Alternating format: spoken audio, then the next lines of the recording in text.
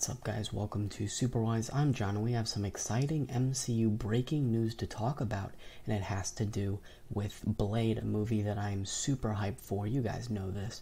So, we got some new casting, and that is that Delroy Lindo is in final talks to star alongside Mahershala Ali in this film.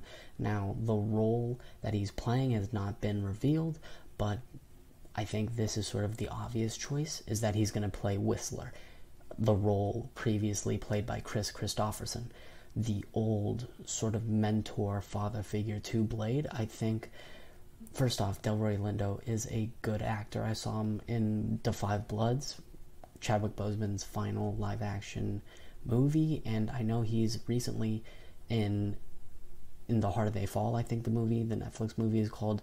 He's a talented actor. He's a good actor, and I can definitely see him be the mentor, the father figure to Blade, the the, the Whistler role. I, I honestly think that that's the role he's going to be playing. So we'll see who he's playing later down the line. And also, the Hollywood Reporter who dropped this exclusive, they said that Blade is planning to start production late summer 2022, and that means that we're probably getting this movie in 2023, which sucks because I want to see this movie so bad. I'm so hyped for it. But we got Blade in 2023.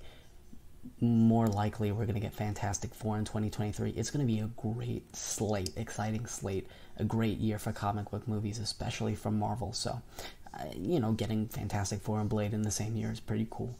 And I'm just super hyped for this film. Bassam Tariq, very interested in seeing what he's going to do with the vampire lore and just how he's going to make it all work. It's I'm very hyped for Blade, and that's the casting. I'm I'm glad we're getting news on Blade. So let me know your thoughts in the comments down below. What do you think about Delroy Lindo getting cast in Marvel Studios Blade? Please remember to like, share, comment, and subscribe. That will be all for me.